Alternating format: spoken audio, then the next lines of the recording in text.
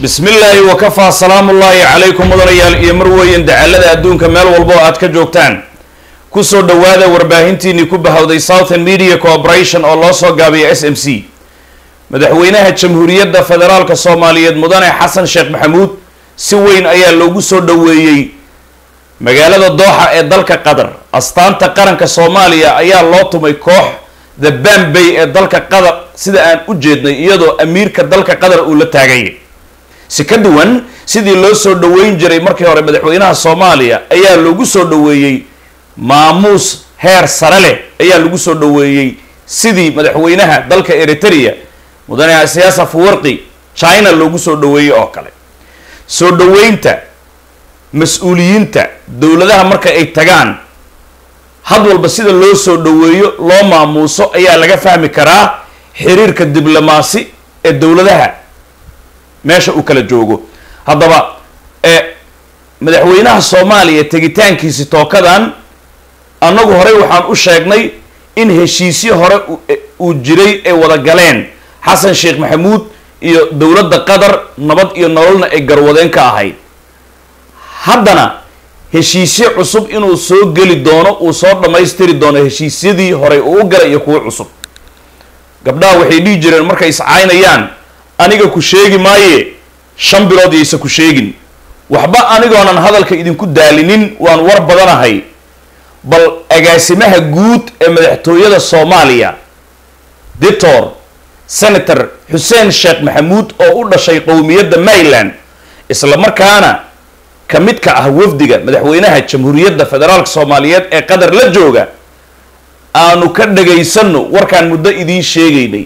Afkiisu aanu ka qaadno bismi illahi raxmaan raxiim madaxweynaha jamhuuriyadda federaalk soomaaliya mudane doctor xasan sheekh maxamuud oo ku guda jira hirgelina halkudhigiisii ahaa soomaali dunida heshiisle ah ayaa booqasho rasmi a ku jooga dalka qatar magaalo madaxdiisa dooxa waxaana labada dal ay ka wada hadlayaan xoojinta xiriirka labada dal oo iskaashi walaaltinimo iyo islaamnimo ah ka dhexayso soo jireenna ah.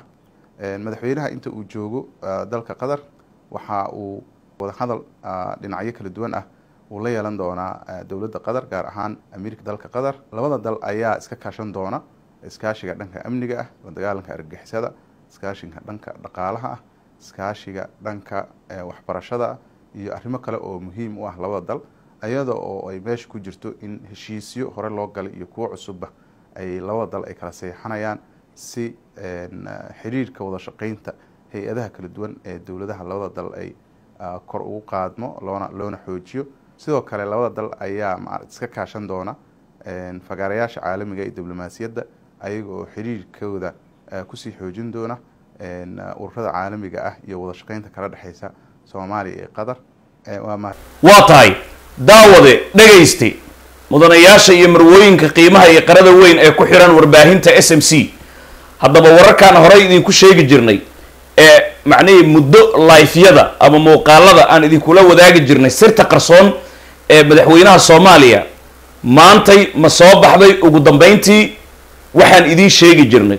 Sheegadee soo dhaweyntan weyn iyo heshiiskan madaxtooyada soomaaliya ay qiratayba in madaxweynaha soomaaliya qatar uu la gelayo sow meesha kama dhigna in imaaraadka iyo xasan sheekh maxamuud ay kala dhaqaaqeen oo sow idinma sheegaynin xasan sheekh maxamuud iyo imaaraadka way kala dhaqaaqeen boqolkiiba toddobaatan hadalladan uu ka leeyahay kulanka dadweyne imaaraad uu ammaanayo waxaa weeye sii jeedin inta dantaydii aan gaarayo ogaada ay ka dhigan tahay luuqadda diblomaasiyadeed marka laxan la saaro iyo siraha jira saasaan idiin sheegaynay. Ciidamada imaaraadka hadda dhaqaaluu siinaya la leeyahay iyo dhammaan kuwa hadda joogo o dhan waa la baabi'in doonaa ciidamo cusub baa la keeni doonaa saasaan idiin sheegaynay. Ma soo baxaysaa mise ma soo baxayso? Sidoo kale heshiis waxaa jira in xarumaha dowladda iyo guryaha dowladda ay leeyihiin. Xasan sheekh maxamuud heshiiskaasi uu qeyb ka yahay in laga saara dadka ku jira. Haddaba magaalada muqdisho ma ka taagan tahay hadda? Dad ma arkayse soomaali oo dhan isugu jira laakiin xataa hawiye u badan ku doodaya madaxweyne sheekh shariif sheekh axmed ayaa ina dejiyey dhul dowladeed toban sano ama dhowr iyo toban sano aan degannahay. Maantana xasan sheekh maxamuud iyo dowladdiisaa nagu soo kala fireeyey taagan banaanbaxyo ma aragtaan mise ma aad aragtaan? Waxaan idiin sheegayna marka ma soo baxbaxayaan mise shaki baa kaaga jira? Mise caadifad baan u hadlaynay siday adiga kula tahay? Mise waxay kula tahay sir xaqiiqaan ku siinaynay?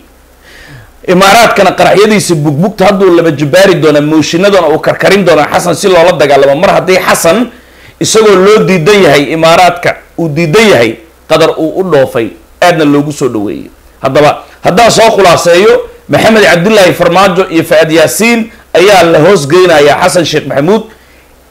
Fa-ad yaasiin iyo farmaajo dhabahooduu marayaa iyaga ayaa ma arkaysa waxay ka ahaan doonaan mediator ama affiliators marka ma arkaysa xasan sheekh maxamuud sagaal qofood oo isku dhex jirta way hadduusan berina isbedelin. Heshiiska aan sheegayno waa kaa marka ciidamada cusub ee etoobiya lagu soo tababaraayo iyo kuwa lagu soo tababaraayo saraakiisha ee serbia. Waa dhabihii maxamed cabdullaahi farmaajo geeska afrika iyo wixii guteres uu u yimaaday gudaha soomaaliya. Su'aasha isweydiinta le waxaa weeye xasan sheekh maxamuud haddii imaaraadka macnihii gruubka ka dhanka ah qatar uu heshiis la galay turki oo doorashadiisii la sugaayay isagana kala baxnaadiisii haddii erdogan uu ku guulaysto waa hubaal dhabihii farmaajo inuu mari doono e siciid cabdullaahi deni iyo puntland sidee buu noqon doonaa? Yacni puntland inkastoo etoobiya ay heshiis kula jirto joogitaanka qatar uu joogo puntland iyo somaliland labadaba waxaa jooga waxaan dhihi lahaa imaaraad. Imaaraadka joogitaanka labadaasi dekadood xasan sheekh maxamuud toos ma ula dagaali doonaa? Uu la dagaalamaya waa hubaal qatar ma ku taageeri doonta mise kuma taageeri doonto?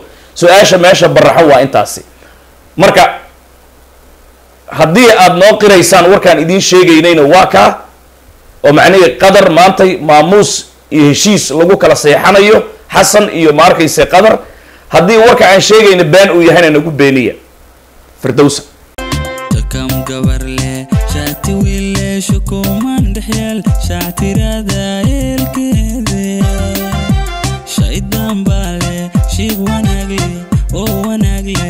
shubaxada shiiran shuushku waa halkiisiye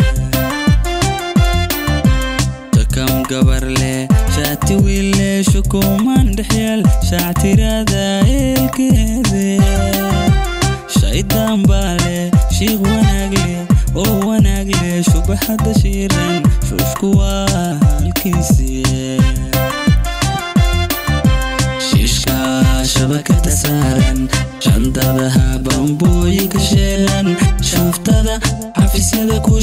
shaashaahiyo shakiga jira iyo shaaf meertaanka ninka shalmada